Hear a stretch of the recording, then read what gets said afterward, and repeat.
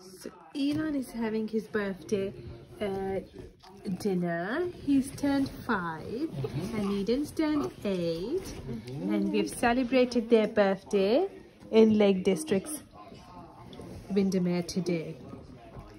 And Dada is having, it says, this is what an awesome dad looks like. Dada's gonna have soup. Mama's gonna have this.